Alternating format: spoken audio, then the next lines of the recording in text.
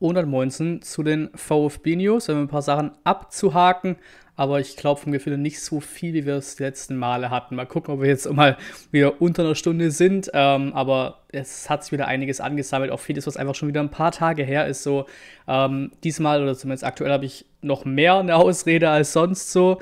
Sonst die klassische Ausrede so, das ist halt immer noch ein Hobby, ne? So. Aber jetzt gerade auch, es ist halt Prüfungsphase so. Der Juli durch bei mir und auch noch ein bisschen in August rein ist halt Prüfungsphase. Deswegen auch gerade nicht wieder vorgefühlt Daily Uploads so. Anderes Thema, es gibt es auch gerade nicht her. Also ich, ich mache halt Videos, wenn es gerade passt. So thematisch, so Kalajdzic, Sosa, Mangala-Ecke da jetzt erst vor kurzem. Irgendwie wieder den Stream angeschmissen für, für Brentford und sowas. Aber sonst ja, gab es nichts, wo man irgendwie daily darüber berichten hätte können, wie eben die ganzen Transfers, die jetzt vor kurzem kamen, offiziell wurden und die eben jetzt auch hier da nochmal mit reinkommen. So, legen wir jetzt aber los. So, der erste Punkt so ein bisschen, ja, Punkt VfB, wieder schwierig das einzukategorisieren. Ähm, hier geht erstmal ein dickes, dickes Lob raus für diese geile VfB Insight, äh, für das geile Format, schlicht und ergreifend. Über das Trainingslager wieder ist ja kein neues Format, das haben sie ja schon öfter über das Trainingslager hinaus gemacht. Richtig, richtig geil. Gerade auch hier das letzte Video, was ich hier jetzt mit drin habe. Natürlich wieder alle Links und alles, bla bla bla. Im Sammellink in, den, äh, in der Videobeschreibung verlinkt, ihr wisst ja Bescheid. Ähm, Gerade hier das Zimmerduell hier mit, mit, mit Fürich und Kalajdzic und Ulrich und Simon war es, glaube ich. Einfach geil gemacht, das Format. Und prompt kommt die Ernüchterung.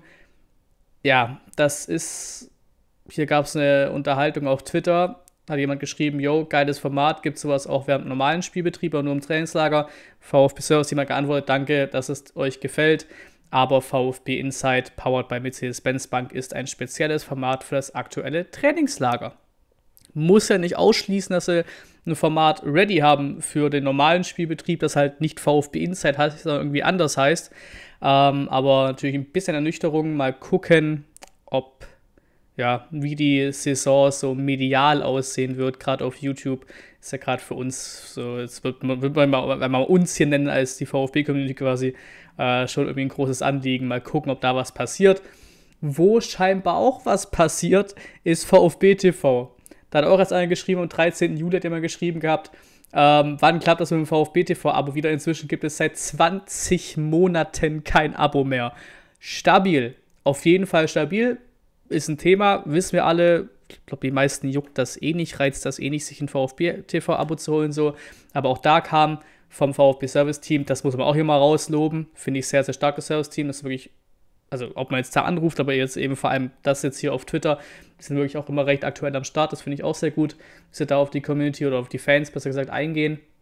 Wir können euch noch kein konkretes Startdatum sagen, aber es dauert nicht mehr lange. Im Laufe der Hinrunde können VfB TV-Abos wieder abgeschlossen werden.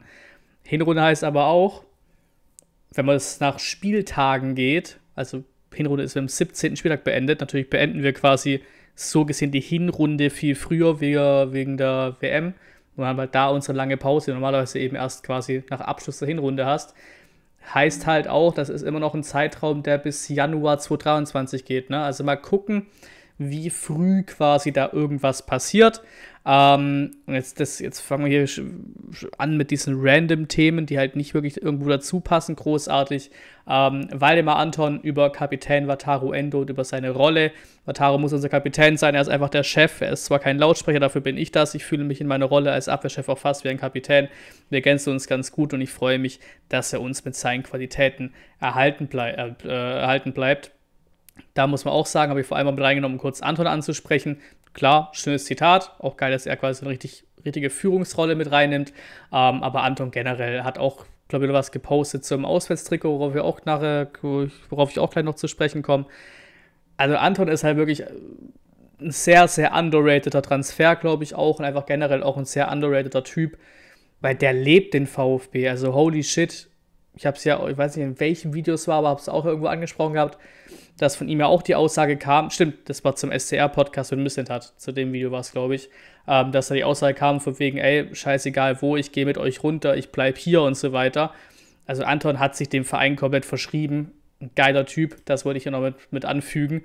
Ähm, hier kurz TV-Vertrag, also TV-Gelder 22, 23 nochmal zum Mitschreiben, wer wie viel bekommt. Ähm, die Bayern ganz oben mit 95,3 Millionen, danach der BVB mit 80 Millionen. Wir liegen bei 41,2 Millionen, die wir bekommen, sind damit auf, Gottes Willen, muss ich nachrechnen, Platz 1, 2, 3, 4, 5, 6, 7, 8, 9, 10, 11, 12, 13, 14, 15. Unter uns nur Schalke, Bremen und Bochum und dann eben die zweite Liga. Ähm, ja, ist, glaube ich, den meisten bekannt, dass wir grob diese Summe bekommen, aber kam jetzt eben nur der aktuelle Post von der falschen 9, die ich auch sehr feiere.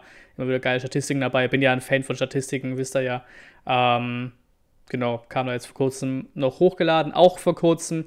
Also wirklich aktuell mal hier im Vergleich zu anderen News, die jetzt hier kommen. Ähm, wir haben, boah, was waren es jetzt? Ich glaube, 15.000 Euro oder sowas bekommen. Wir haben 15.000 Euro Strafe für den Platzsturm am 34. Spieltag bekommen. Ähm, ja, und dazu gab eben Aussagen von Werle, die wir, glaube ich, alle unterstreichen können, dass das einfach ein bisschen, also durch die Blume sagte, was sollen die Scheiße so? Wir hatten jetzt hier Pandemie, wir hatten dies, das. Emotionen pur, ist niemand zu Schaden gekommen oder unser Sicherheits- und Präventionskonzept hat nichts falsch gemacht, ist die professionelle Ausführung von, von Alexander Werle.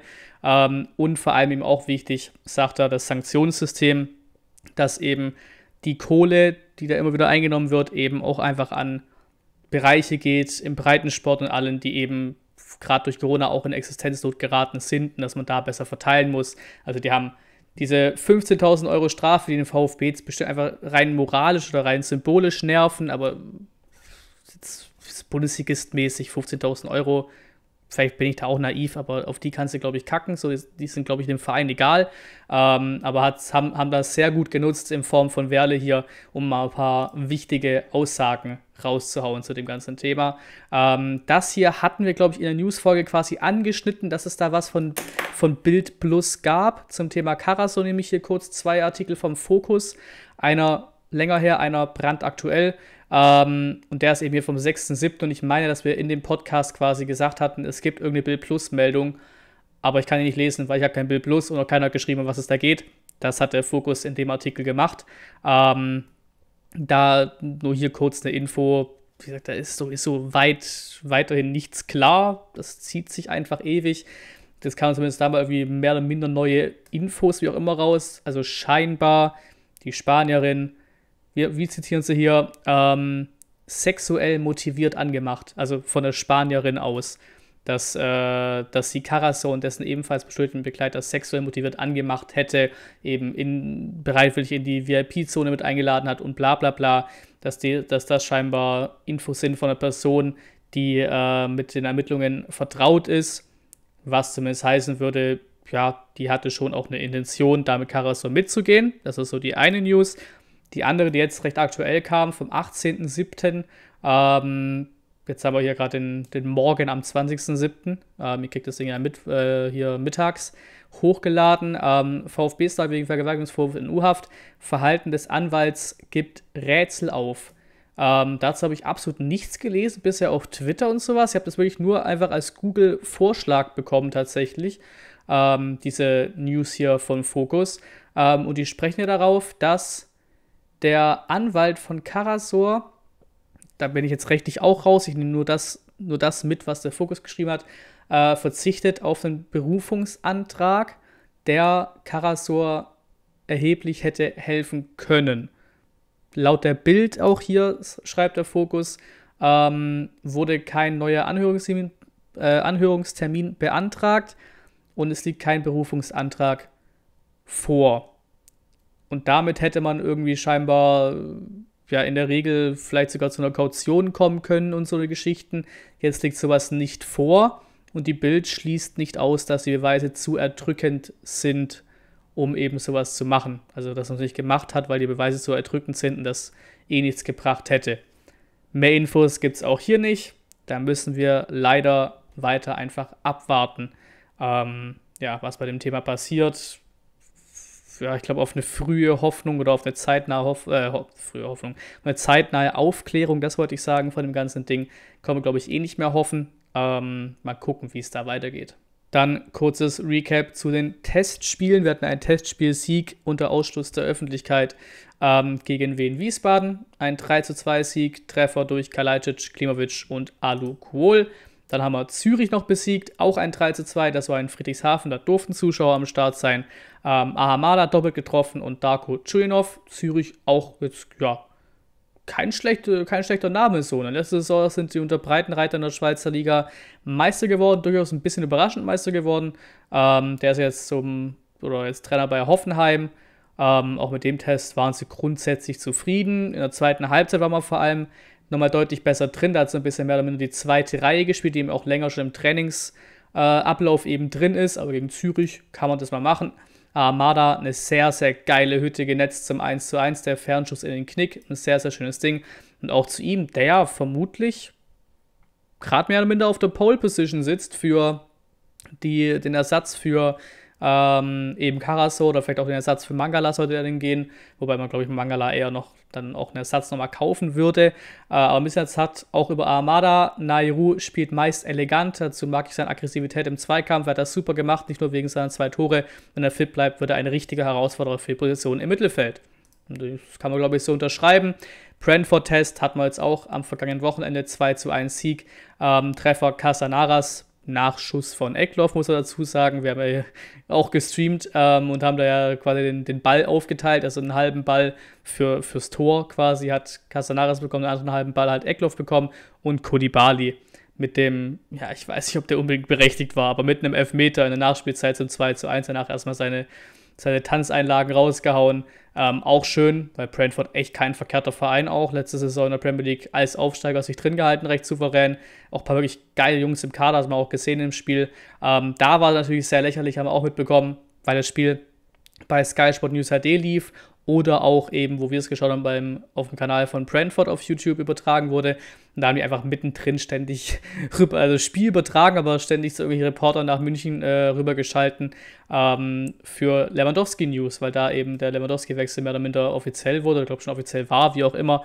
Ähm, frech, wie gesagt, ich habe es auch im Stream schon gesagt, man kann es so ein bisschen nachvollziehen, vielleicht, weil es eben ein News-Sender ist und die Bayern haben eben die meiste, meiste Interesse und das meiste Einschaltquoten, trotzdem halt frech so. Aber so aus, aus Sendungsgründen kann man es vielleicht so ein bisschen nachvollziehen aus Sky-Sicht. Ähm, Wagnermann hat ein Zitat, glaube ich, war auch rund, rund ums Spiel äh, gegeben, oder hat ein, ja, Interview gegeben, Zitat daraus. Ich wurde vom Team sehr gut aufgenommen. Der VfB ist ein toller Verein und hier möchte ich den nächsten Schritt gehen. Dafür bin ich hier perfekt aufgehoben. Ich werde mein Bestes geben und freue mich auf die Saison. Das ist schon mal sehr schön. Und hier auch ein Tweet, der hoffentlich nichts äh, jinxt. Wir haben ja noch ein Testspiel am Samstag gegen Valencia. Der VfB war im Trainingslager und es hat sich keiner verletzt. Wie soll ich damit umgehen? Das ist richtig und das sind schöne News mal, ähm, dass sich hier keiner verletzt hat. Und Thema Valencia, der BVB hat jetzt erst am 18. Juli, also auch vor zwei Tagen, in dem Testspiel 3 zu 1 verloren gegen Valencia. Das sah Valencia echt nicht verkehrt aus, was von, von dem, was ich so mitbekommen habe. Unter Trainer Gennaro Gattuso ist auch neuer Trainer bei denen. Ähm, das ist, ja, das ist schon mal eine Ansage. Also, die scheinen recht gut drin zu sein. Wie gesagt, Samstag ist das Spiel, 15.30 Uhr ist Anpfiff. Ähm, Karten gibt es noch. Da ist über dem Thema, habe ich auch ein Video gemacht. Die sind eben auf Bundesliga-Preisniveau. Kanzler Kurve ist offen und ja, ganz okay verkauft. Unterrang der Gegentribüne ist auch offen und der Rest ist nicht offen, wird wahrscheinlich auch nicht mehr geöffnet, weil das würde nur geöffnet werden, wenn eben der Rest gut verkauft ist. Das sieht so nicht aus. Ähm, also ich weiß, ich gehe nicht ins Stadion, außer mich, keine Ahnung, mir fährt es irgendwie nochmal rein am Samstag und irgendwie ganz kurz davor kribbelt es nochmal und ich will unbedingt, weil ich wäre am Samstag, hätte ich zeitlich gerade so die Möglichkeit hinzugehen. Ähm, aber wie gesagt, ohne es irgendwie das Spiel kaputt reden zu wollen, ich persönlich habe da keinen großen Bock drauf. Also aufs Spiel schon, aber nicht da reinzugehen, irgendwo 25 Euro dafür zu zahlen, dass ich da am Ende mit, was weiß ich, lass es 10, lass es 15.000 Zuschauer sein, maximal. Da hat der VfB auch noch keine Infos zugegeben. Der VfB hat Infos gegeben, dass es irgendwelche Ticketpakete gibt und bla bla bla und hier und da. Normalerweise sagen sie halt oder schreiben sie in solchen Statements, in solchen Berichten mit rein, quasi so und so viele Karten sind schon verkauft und hier und da kann man auch Karten kaufen. Das haben sie halt geschrieben, ja, man kann auch Karten kaufen. Also sie haben nicht reingeschrieben, wie viele verkauft wurden bisher. Vielleicht auch ein Zeichen, dass sie das vielleicht ein bisschen ja, leiser halten wollen, weil die Zahl vielleicht ein bisschen enttäuschend ist. Mal gucken, wie es am Ende am Samstag aussieht. Ähm, aber gut, ja, Valencia ist für mich nicht krass äh, attraktiv als Gegner so. Plus eben, wie ich gerade schon angefangen habe, das ist halt dann einfach, das ist, das ist Corona-Einschränkungsvibes. Du hockst da drin mit deinen 10, 12, 15.000 Zuschauern oder sowas. Die über die Hälfte vom Stadion ist einfach generell schon mal nicht besetzt, weil einfach keine Karten verkauft werden in dem Bereich. Und die Flashbacks will ich nicht. Also ich will, in, nee, da will ich nicht, da will ich nicht zurück. Da habe ich keinen Bock drauf. Dieses Feeling im Stadion, da sehe ich mich tatsächlich nicht. Spiel wird auch übertragen ähm, im SWR. Kann man sich da auch reinziehen. Kommen wir zu einem kurzen Punkt zum Trikot. Kam auch am 8.7. raus das Auswärtstrikot. Da haben wir auch schon, die Leaks äh, wurden quasi bestätigt dann von der offiziellen Präsentation vom Trikot. Es ist angelehnt an diese Saison 97, 98, ähm, ans Pokalsieger-Trikot oder zumindest in der Zeit vom Pokalsieg. Ähm, Schwarz-Rot. Ähm, ja, was soll man dazu sagen? Also Jako macht seinen Job. Jako macht seinen Job. Also ich finde das Heimtrikot geiler. Das werden wahrscheinlich auch die meisten geiler finden, das Heimtrikot mit den Designs und so weiter. Aber weil Weiß-Rot auch einfach, das ist halt VfB, Heimtrikot, Brustring. Aber das Austrikot ist auch schon sehr, sehr geil gelungen und natürlich eben einfach auch geil nachgestellt oder nachgebaut quasi von eben dieser historischen Saison, dem historischen Trikot. Auch viele ältere VfB-Fans, glaube ich, ein sehr, sehr schönes Trikot geworden. Kann man sehr, sehr zufrieden sein mit dem Ding. Ähm, das Ausweichtrikot gab es ein Leak, dass das quasi aussehen soll wie unser Heimtrikot, also eben auch so Elemente haben soll von äh, eben, ja, Dingen aus der Stadt, aus Stuttgart und so weiter, Wahrzeichen, nur eben so schwarz-silbermäßig. Sieht auch ganz geil aus in den Le Leaks ähm, und wir könnten es auch schon dem, demnächst zu Gesicht bekommen. Also ich habe gerade keine Quelle dazu leider. Ich meine auch gelesen zu haben, in dem, also quasi zu dem Thema Leak von dem Aus Ausweichtrikot und so weiter, irgendwo auf Twitter auch gelesen zu haben, dass das Ding scheinbar am 22. Juli kommt, das Ausweichtrikot. Das wäre jetzt an diesem Freitag, wenn ich es richtig im Kopf habe. Ja, an diesem Freitag würde ja auch passen, weil in der Woche spielen wir ja schon gegen Dresden. Vielleicht brauchen wir es da ja auch schon das, Auswe das Ausweichtrikot. Ähm, keine Ahnung, aber eben vor der Saison alle drei Release zu haben, wäre ja schon mal eine Idee. Und dann hat man es auch released nochmal vorm Valencia-Spiel tatsächlich, auch wenn es am Freitag kommt. Mal gucken, könnte sich tatsächlich die Tage was tun. Dann haben wir alle drei Trikots da. Jetzt schon ein sehr, sehr stabiler und für mich persönlich auch besserer oder schönerer Trikotsatz als der aus der letzten Saison. Gehen wir rein in die Gerüchteküche. Das ist kein richtiges Gerücht, aber laut der Sportbild ähm, ist Matarazzo auf Platz 15, äh, was das Gehalt angeht in der Bundesliga. Haben sie hier berichtet, äh, auf 18 tatsächlich der Augsburg-Trainer, Enrico Maas mit 700.000 Euro. Ähm, die Angaben sind geschätzt, schreibt die Bild dazu. Frank Kramer bekommt wohl 800.000. Ole Werner 900.000 und Matarazzo bekommt scheinbar auch 900.000 im Jahr. Über eben dann Reis, Svensson und so weiter. Ganz, ganz oben Nico Kovac. Äh, nee. Nico Kovac auf der 2 mit 4 Millionen. Ganz oben Nagelsmann auf der 1 mit 8 Millionen. Terzic 3,5 auf der 3. Siwan und Tedesco bekommen beide 2,5 Millionen und so Geschichten. Aber da ist Matarazzo echt noch am tieferen Ende in der Bundesliga. Ähm, jetzt ein paar Gerüchte, die man einfach, einfach mal so einfach, einfach zur Kenntnis nehmen kann, weil zu denen gab es nicht viel mehr, außer die Gerüchte halt, nur kurz zum Abhaken, zur Kenntnis nehmen. Dennis, Gottes Willen, hat Hachika irgendwie sowas, 24 Jahre alt, Verteidiger von Malmö, sind wir scheinbar interessiert. Weiter. Ähm, Klimovic ist auch nichts Neues, aber äh, ja, es geht wohl da auch auf die Zielgerade zu in Richtung einem Transfer zu Elche, ähm, wohl auf Leihbasis, also nach Spanien für Matteo Klimowitz. Ähm, es wurde berichtet, dass Bayers äh, den VfB, wenn überhaupt, ganz verlassen möchte, scheinbar. Ähm, laut den Bildinfos, weil eigentlich wäre eine Leihe irgendwie sinnvoller, aber wenn er gehen, wenn er gehen würde, dann will er schon den Verein direkt schon ganz äh, verlassen. Mal gucken, was sich da so tut. Das ist auf jeden Fall auch ein Abgangskandidat.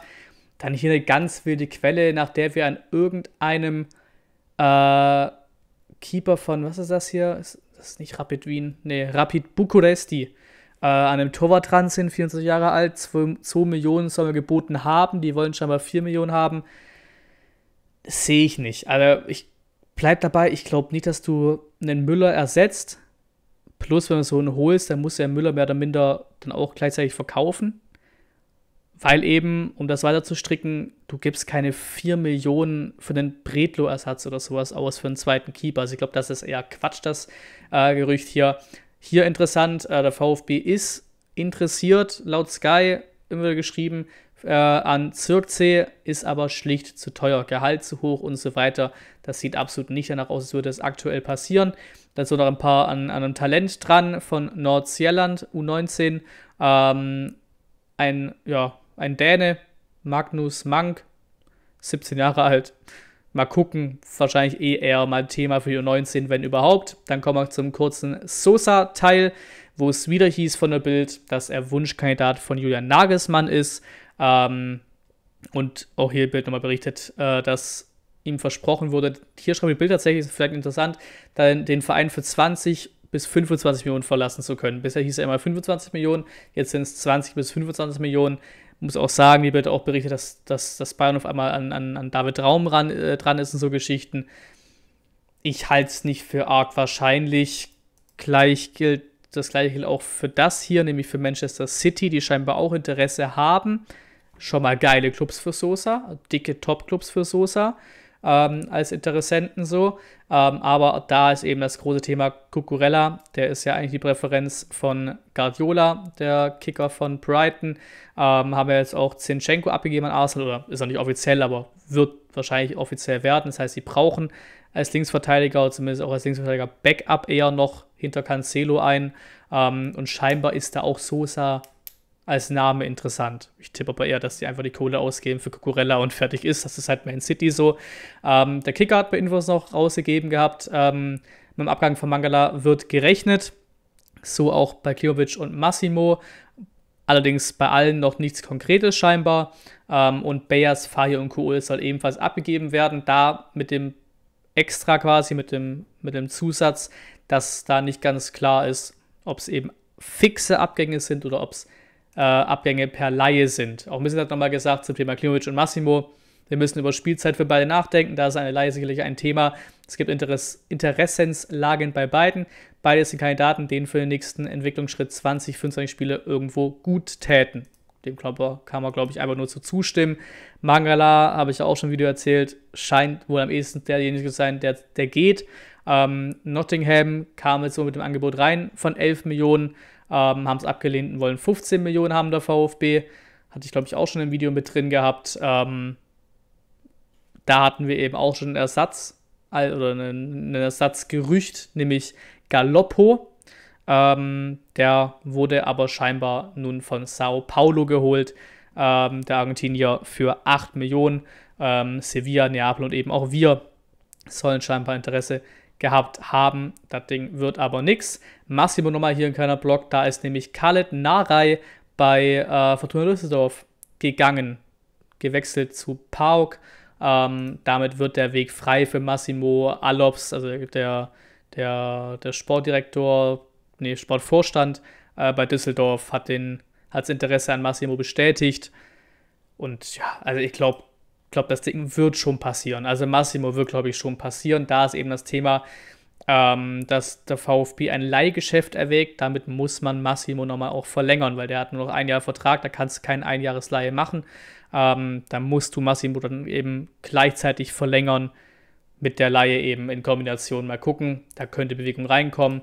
Ähm, Kalajdzic hier nochmal als ganz aktuelles Gerücht scheinbar auch wieder irgendwie auf dem Radar der Bayern laut der Sportbild. Hier sage ich auch Bullshit, weil die jetzt scheinbar irgendwie doch irgendwie einen neuen haben wollen.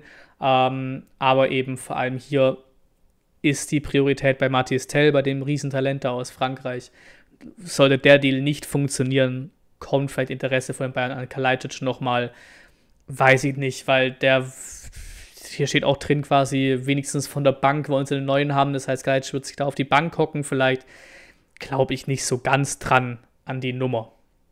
Kommen wir zu so einem kleinen Block von Missentat und Werle quasi, ähm, wo Werle eben ja auch so ein bisschen die mit, mit die größte Entscheidungspflicht eben hat, zu sagen, ey, wir verlängern Missentat oder wir verlängern eben nicht. Und da ist ja auch die klare Aussage, Ruhe bewahren. Auch für Missentat kam man die Aussage, auch für uns generell, Ruhe bewahren Werle will sich einfach die Transfer Transferperiode angucken, gucken, wie äh, Missentat arbeitet ähm, und fertig ist. So, ganz normale Abläufe würde ich sagen, das passt für mich auch alles. Ähm, hier noch interessant, was neu ist, feststeht, dass wir keinen externen Sportvorstand implementieren werden. Das ist ja auch immer so ein Thema gewesen. Ähm, das wird nicht passieren. Ähm, die, Bild, äh, die Bild, der Kicker schreibt jetzt ja auch sogar, dass äh, Misselt der scheinbar der Favorit auf dem Posten des Sportvorstands äh, sein könnte. Ähm, vielleicht könnte er da quasi halt einfach so ein bisschen die Doppelbekleidung machen. Oder Werle macht das eben, so wie es mit Hitzesberger früher war, dass der quasi auch Sportvorstand und Vorstandsvorsitzender also gleichzeitig war, ähm, aber mehr oder minder ein bisschen hat inhaltlich dann eigentlich schon eher Sportvorstand war. Also mal gucken, was da passiert. Vielleicht kann man es auch doch intern lösen mit Krücken oder sowas oder mit, äh, mit Rüd. Mal schauen, was sie da so machen. Miss hat auch nochmal gesagt, dass er sehr entspannt ist, dass er diesen, dass er den, dass er, dass er den Verein lebt, dass er mich sich identifiziert mit dem Verein, dass er Bock hat. Also wie gesagt, da braucht man gar nicht großartig viel, viel, viel abhaken. Austausch ist da. Ähm, auch Werle sagt nochmal ein bisschen, hat in den letzten Jahren bewiesen, dass er über eine außergewöhnliche Erfahrung verfügt. All diese Geschichten ähm, glaube ich fest daran, dass Misseltat verlängern wird. Ist halt die Frage, wie lange und wann. Ähm, was Werle auch noch gesagt hat, dass es bis Ende August noch den einen oder anderen Transfer geben wird, ähm, wenn es eben für alle Seiten stimmt. Und selbst wenn wir keine Transfer mehr machen würden, wären wir immer noch absolut handlungsfähig. Das ist eben auch eine interessante wichtige Aussage, nachdem wir quasi Transfers getätigt haben, ohne irgendwie Großes eingenommen zu haben bisher. Ähm, schöne Aussage, was das angeht. Bisher natürlich auch gesagt, großer Verkauf wäre nicht schlecht in einem Interview mit Sport 1. Ähm, es wäre sicherlich nicht schlecht für den Club, wenn ein Verkauf dieser Größenordnung käme, also eben Kalajdzic, Sosa, Mangala. Äh, aber dass eben da ja, noch nichts groß passiert aktuell und dass man alle Karten in der Hand hat, ähm, um vernünftig mitzuspielen und zu sagen, nein, das funktioniert so nicht, wenn eben der Club nicht attraktiv ist, wenn das für den Spieler nicht cool ist, wenn für den Verein zu wenig Ablöse bei rumkommt und äh, lauter solche Geschichten und auch nochmal die Aussage zum Schluss vermittelt hat, auch im Interview von Sport 1, Platz 13 ist weiterhin unser Platz 1 und dafür wollen wir alles tun. Also das ist auch dann die klare äh, Herangehensweise und Erwartungshaltung für die nächste Saison. Ähm, ja, untere Tabellen, unteres Tabellendrittel einfach und da einen guten Job machen, drin bleiben. Wie gesagt, Platz 13 ist weiterhin unser Platz 1. Dann kommen wir zu offiziellem. Ähm, ich bin mir nicht sicher, also wir hatten es auf jeden Fall in News mit drin, ich bin mir nicht sicher, ob es da auch schon offiziell war. Ich glaube aber nicht, ich glaube, es war knapp nicht offiziell. Laurin Ulrich wurde vom VfB langfristig gebunden. Vorzeitige Vertragsverlängerung von unserem Top-Talent, muss man ja sagen äh, haben die Bayern ausgebremst, die ja scheinbar schon dort ihre Fühler ausgestreckt haben nach Ulrich und jetzt binden wir ihn bis 2026. Das Zitat waschechte VfB Eingewächs. Also sehr, sehr wichtige und sehr, sehr geile Nummer, dass wir solche Leute einfach halten können dann auch, ne? Das sind auch in irgendeiner Form einfach so einfach, einfach Statements dann auch. Es ist sehr, sehr wichtig und sehr, sehr schön zu sehen. Viele andere aus diesen ganzen starken Jahrgängen wurden ja auch schon verlängert oder sollen noch verlängert werden. Sehr, sehr schönes Zeichen. Und eben jetzt auch, ist nichts Neues, deswegen hake ich schnell ab. Am 8. Juli wurde Juan José Perea final ähm, verpflichtet, offiziell gemacht.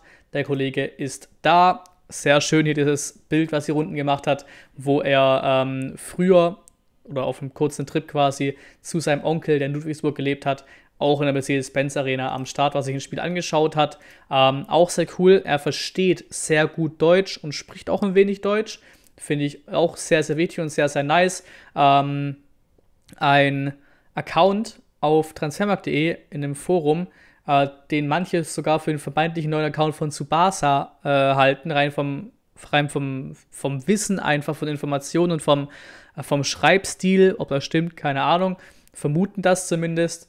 Ähm, aber ganz cool, scheinbar war hat auch früher schon mal an ihm interessiert, nämlich zur Zeit, äh, wo er bei Arsenal war wenn ich das richtig rauslese, war er scheinbar interessiert an ihm.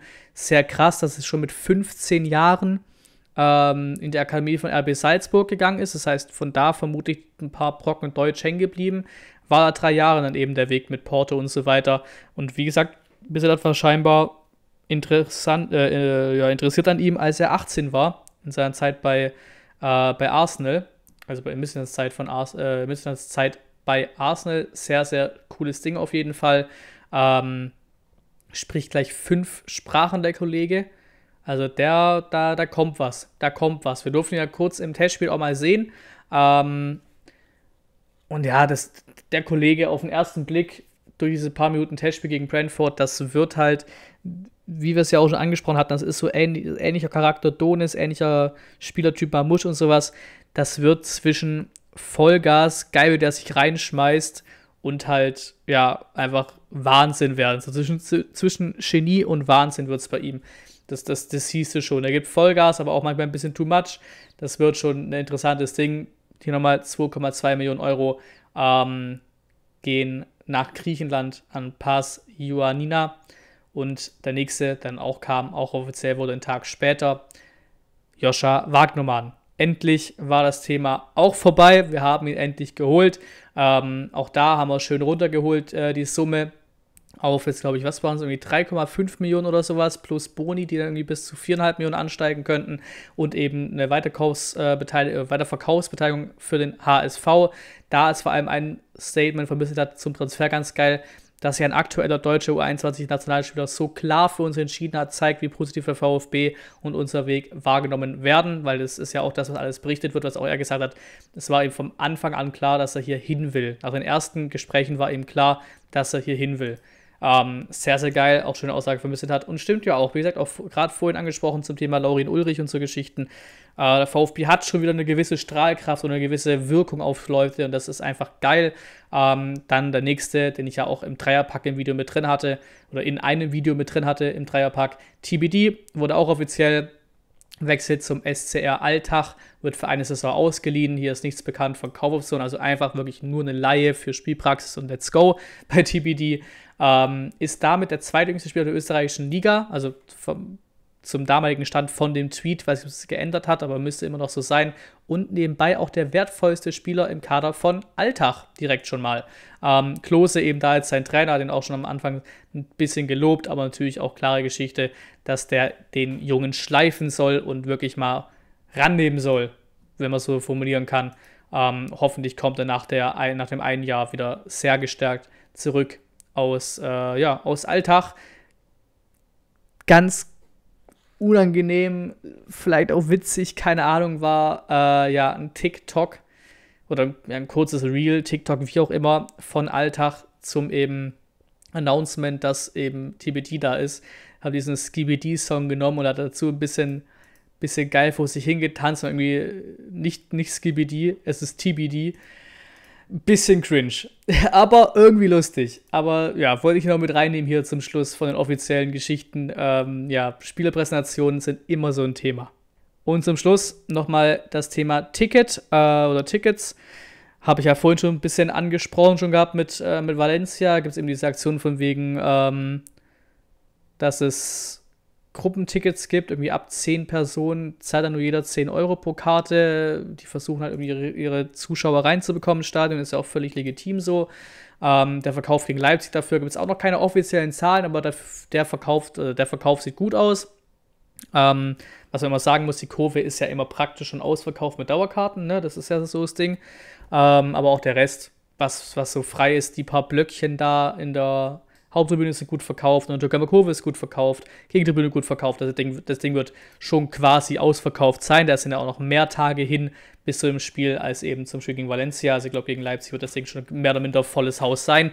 Was eben auch hier nochmal für die neue Saison, keine Ahnung, was es genau für eine Zahl ist, aber irgendwas knapp über 50.000 bedeutet eben nicht mehr 60.000 wegen eben Umarbeitungen, äh, Bauarbeiten äh, an der Haupttribüne. Ne? Ist ja auch, wissen wir ja auch Bescheid und hat es jetzt erst in die Instagram-Story reingepackt. Für die, die hinfahren wollen nach Dresden, ich werde es nicht machen. Bei mir gibt es einen Stream, wer da am Start sein will, nächste Woche.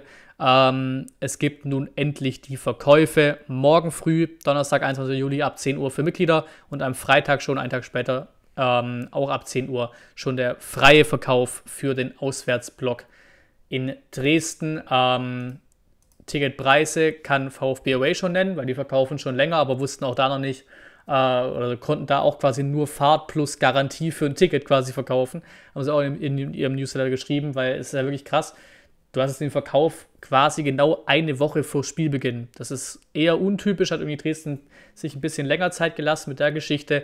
Ähm, scheinbar 17 Euro Stehplatz und 24 Euro Sitzplatz, wer da Bock hat, nach Dresden zu fahren. Ähm, was haben wir noch? Genau, stimmt. Auch sehr cool. Kann ich mir gut vorstellen, dass ich das vielleicht sogar mache in meinen Semesterferien. Am 10. September spielt der VfB einmal auswärts bei den Bayern um 15.30 Uhr. Und was auch am selben Tag ist, um 11 Uhr, also mit genug Abstand, die U19 spielt Pokal bei 1860 München. Also Trainingsgelände Grünwalder, Grün, Grünwalder Straße. Da könnte man tatsächlich einen, ja, einen Doppler machen an dem Tag. Ein doppeltes Außerspiel in München machen. Vielleicht mache ich das. Mal gucken. Ist auf jeden Fall eine ganz coole Nummer, dass sich das so quasi zusammengelegt hat. Und damit sind wir schon am Ende angekommen. Nach grob einer halben Stunde statt einer Stunde, wie die letzten Male. Äh, auch mal schön vielleicht für euch ein Ticken kürzer das Ding. Ähm, hier nochmal kurz der Aufruf, wie immer, gehört dazu. Natürlich erstmal für alle, die neu am Start sind. Lasst gerne das kostenlose Abo da. Wir machen unseren Weg, ist auch ein Stückchen hinter, wir machen unseren Weg auf die 5000 Abonnenten zu, was der nächste dicke Schritt wäre. Ähm, und eben natürlich hier auch die VfB News viel zusammengeschmissen. Natürlich auch News dabei, wo man sich denkt, äh, da fehlt doch was. Ja, aber dafür gibt es eben die Einzelvideos. Ne? Das Transfer-Update habe ich auch angesprochen, schon zu Wagnermann, Perea und TBD vom 7.7., wo dann eben die Transfers am 8. und 9.7. und sowas offiziell wurden. Dann ähm, auch die letzte, äh, das letzte Video zu Kalajdzic, Sosa und Mangala. Der Transfer-Update Real Talk, wie ich es quasi genannt habe ne, Einzelvideos, wo einfach die Themen noch brisanter sind und interessant genug sind für ein Einzelvideo und nicht eben für eine gesamte VfB-News-Folge. Natürlich auch der Livestream und so Geschichten. Checkt gerne die letzten Videos ab, um eben wirklich alle Infos zu haben. Und letzter Punkt, wie immer, um die aktuellsten News zu haben, auch gerade Thema ähm, Ticketverkauf gegen Dresden habe ich schon seit jetzt ein paar Stunden schon in meiner Instagram-Story drin eben. Ähm, geht auf Instagram, Folgt mir auf Instagram, da bin ich in der Instagram-Story-Funktion am schnellsten, am aktuellsten mit den News, mit den Screenshots von News und so weiter und so fort. Die kommen da einfach am schnellsten rein, am einfachsten rein. Da seid ihr am schnellsten informiert, schneller natürlich als in, ja, einfach schlicht und ergreifend aufwendigeren, zeitaufwendigeren Videos. Ne? Das ist eine klare Geschichte. Danke fürs Zuschauen. Natürlich hier wie immer noch viel mehr fürs Zuhören und bis zum nächsten Mal.